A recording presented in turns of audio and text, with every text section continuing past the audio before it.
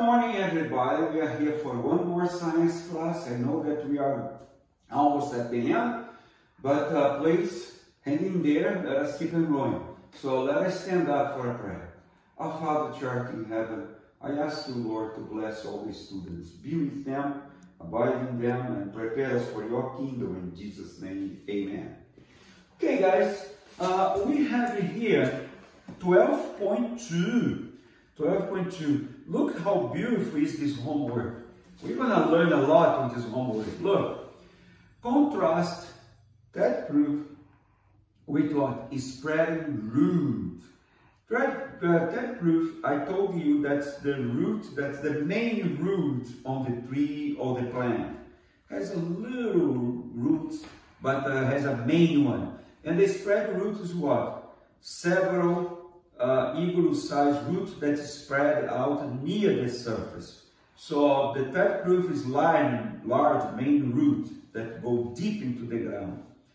Now, uh, number three, number two, uh, listen three main functions of the tree root. So three main functions are absorb water and minerals, minerals, anchoring the tree firmly in the soil and what? Storing food. Remember that I said to you last time, these three important functions of the root.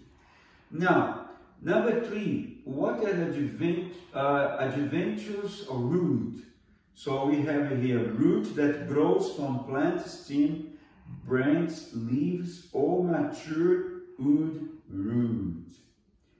Uh, number four, where is a tree xylem tissue located? I talked about the xylem last time, not only about the xylem, but about the phloem, and I stress out about because this is very important, xylem and phloem. Okay, so we see here number four is what on the is the wood, the wood. That is the place where located. Remember that I said to you, xylem get what? Uh, water and mineral from the soil. And phloem, they get what? They have the oxygen, the result of photosynthesis on the plant and go to entire plant. And the leaves and go to entire plant. Now, number five, give a definition of competition as it relates to tree.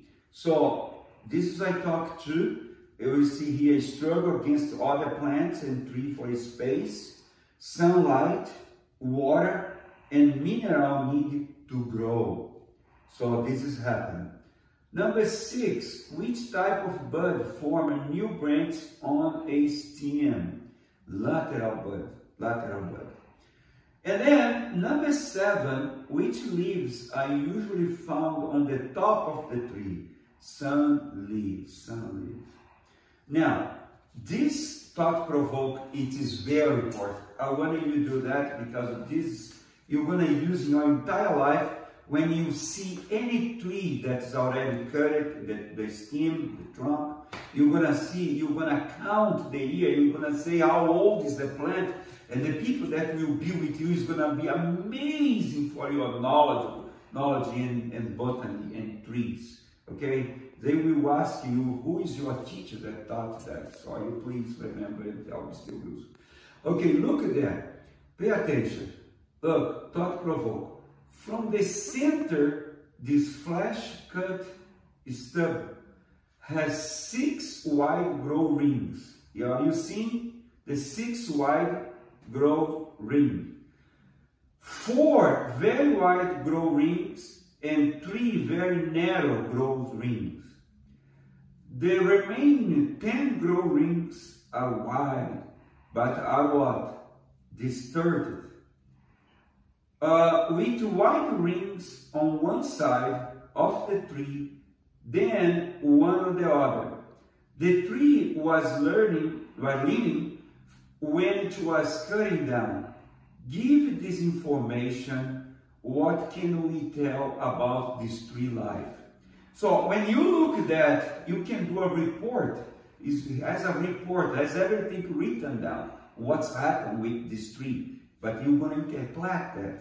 You give interpretation. Look, the first uh, six years, a good environment condition allow the rapid growth during the tree first six years. You see the six rings, they are beautiful. For the next four years, the tree grow even better with little competition. Little competition.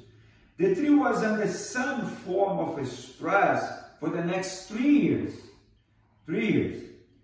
Hints grow, so didn't grow much. For the last 10 years, the tree was lean. The tree is 23 years old. If you count all these rings, 23 years old.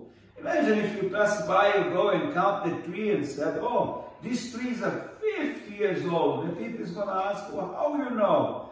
I know botany. I know how to, to, to count uh, how old it is and find out. And then you start to explain, oh, this tree got fire in this year.